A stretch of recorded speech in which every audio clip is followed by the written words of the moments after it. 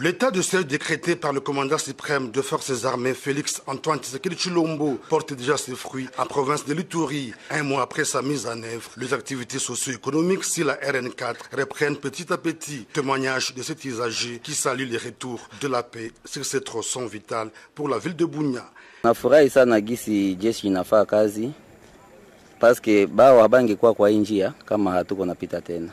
Alors tunashukuru kazi jeshi. Ah, kisha jeshi kufaa kazi hatuyapata shida na tunafurahi iendelee hivi. Les habitants qui ont fui leur village regagnent déjà leur milieu d'origine. hapa toka tunarudia tuko na deux semaines tunaona salama kameme, tunaona salama juu watu wanarudia, watu wengine walikuwa pembeni kwenye walikimbilia wanaanza kurudia hapa.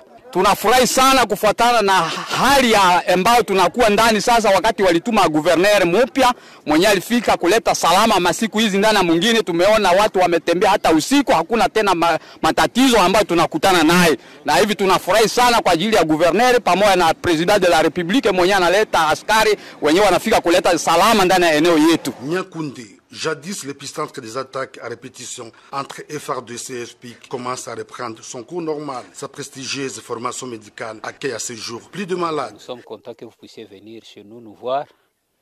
Euh, nous avons déjà commencé à sensibiliser les parents pour que le lundi, nous puissions redémarrer les activités scolaires ici à Nyankonde.